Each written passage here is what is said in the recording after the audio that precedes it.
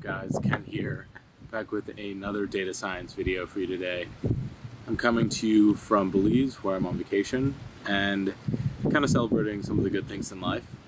Uh, in that same vein, I thought it would be cool to make a video about some of my favorite things about data science, the pros, and also some of the some of the drawbacks of the profession.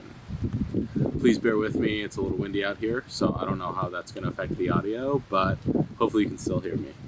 So as you can imagine, one of the nice perks of data science is the pay is pretty good and usually you're working in technology companies, so there are pretty good benefits. For example, at my company, we have unlimited PTO, we have free haircuts in the office, really neat perks uh, that I really enjoy. The second perk that comes to mind is that as a data scientist, you get to learn for a living. Now, I've gone to school a lot, you know, two master's degrees. I'm constantly continuing to learn, and that being part of my work is also something that's really cool. That's a part, that's something that helps me grow as a person, and that's something that I'd like to have in any endeavor that I do. Part of that learning process is the ability to glean knowledge from other people as well. In data science, you generally work with other really intelligent people, and that accelerates your learning. You're able to understand different concepts because you can bounce ideas off of people. And you know I, I can't celebrate that fact enough. I mean that's something that that i get a ton of value out of on a day-to-day basis. So the next thing that i think is really important as a data science that you get to that you get to have is that you get to work on challenging problems at work. One of the number one drivers for happiness in a job is the ability to basically be stimulated by what you're working on. And that's very common in data science. You're always having to look on Stack Overflow and try and understand new different things. Uh, you're always having to ask people to figure out how to work through a problem. And you're, you're always wrestling with something, uh, trying to figure out how you can do it better, how you can implement it more efficiently. Another big component of job satisfaction is the amount of autonomy that you have at work. With data science, you're generally working on projects individually or in small groups, and you're the subject area expert. So you do have a lot of control over what you're working on to a certain extent, um, and you have the ability to implement solutions how you see fit. Now, getting into some of the cons of the profession. So, one of the things that data science does require is a pretty big upfront time investment. You really have to learn the skills either through formal education or uh, self-teaching. You have to prove that you know these skills. You have to do a bunch of projects to be able to get into the field. So there is a lot of upfront time cost to getting your foot in the door, to getting a job, to having a successful career there. Another challenge with data science is that the field is so new that it's sometimes unclear what the job description is. And the definition of what a data scientist is is very different across different jobs, different companies, etc. So you really have to think about, especially when you're interviewing, what data science work you're going to do at a specific company and if that matches what your idea of data science is. There's a lot of people that go in, they're like, oh, I'm going to be implementing all these solutions, but they're really doing mostly data engineering. And if your work does not match your expectation of work, that is a recipe for dissatisfaction at your job.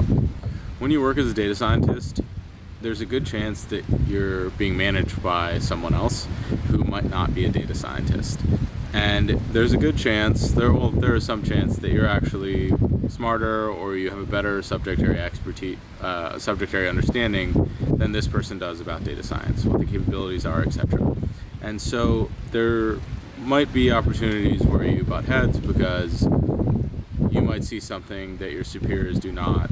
And you know it's important to understand that not everyone is a data scientist uh, there are some business decisions that need to be made outside of the data science realm, and that all these people at the end of the day are on the same team.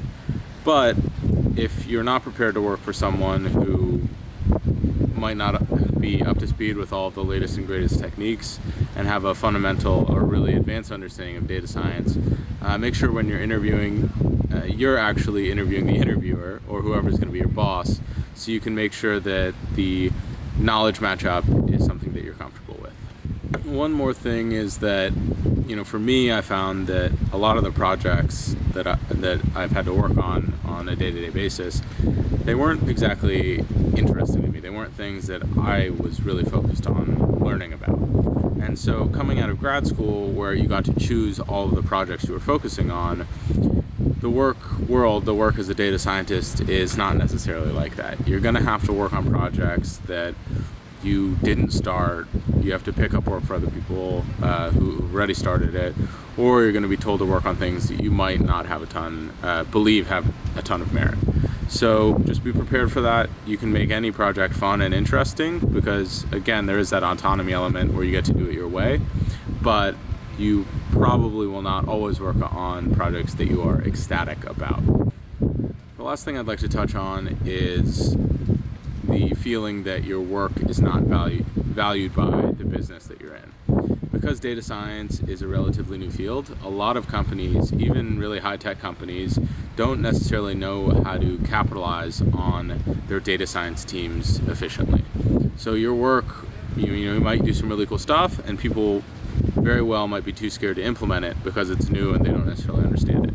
So that is something to be wary of. There's a lot of times where you work really hard on something, you think you have an elegant solution, but for example, if you're using a, a neural net or a random forest where um, it is a bit of a black box, that's very scary to some business stakeholders. Even though it might produce good results, you might not actually be uh, able to sell the, the decision makers on that solution because it's not super comprehensible by, by humans or someone who's not initiated in the data science realm. So that is definitely something to look out for and to keep in mind uh, if you're considering this career path. Thank you so much for watching. I hope you enjoyed the video. Uh, please hit that like button if you did. And if you enjoy content like this regularly, please subscribe to my channel. Signing off from beautiful Belize. Good luck on your data science journey.